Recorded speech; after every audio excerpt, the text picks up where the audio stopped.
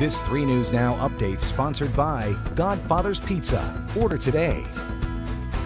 I'm Danielle Davis with 3 News Now. Here's a look at what's happening now. You could call it a sign that we're getting closer to the new normal as some area teens will again get a first-hand look at a possible law enforcement career. Bellevue Police announced they will host their Teen Citizens Police Academy this year. It gives kids ages 5 to 19 a chance to learn about police work. Directed health measures forced them to cancel last year's event. This year's academy will be June 2nd and 3rd. President Biden is looking to shift to 100% renewable energy by 2035, but that's raising concerns about those who have spent their lives working in the fossil fuel industry.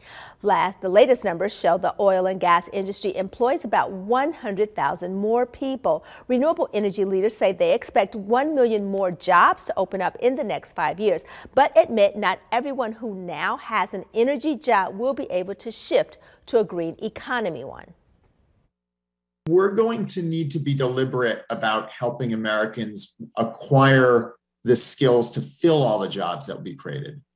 The green economy requires different skills, and so we can't expect things just to work themselves out.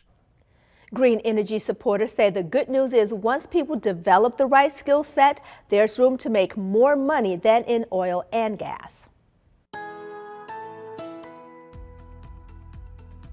And I'm 3 News Now weather alert meteorologist Audra Moore with this weather update. We stay cool, breezy, and rainy as we go through the rest of our Thursday on Futurecast. The rain continues on and off as we go into this evening and tonight. Temperatures only warm back to about 50 degrees, so they don't move a whole lot throughout the day. Then as we get into Friday morning, finally the rain starts to taper off and that'll allow us to uh, be a bit drier and warmer by Friday afternoon. Your Thursday, though, we see a high of around 50. Breezy still with those northwest winds gusting up to about 25, 30 miles per hour. Temperatures on Friday, though, will be warmer thanks to less rain. And we make it back into the mid 60s. There is another chance for some spotty rain very late Friday night into early Saturday morning, but most of Saturday stays pretty dry. Temperatures will still be in those low to mid 60s. Warmer on Sunday, closer to 70 for many of us. Before our next cold front comes through, drops us into the upper 50s by Monday. Looks like we stay a little bit cooler than average for most of next week.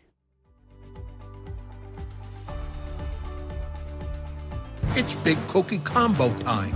Get my big chocolate chip cookie along with the medium classic combo and the medium one topping pizza for a limited time. Big Cookie Combo. Godfather's Pizza. Do it.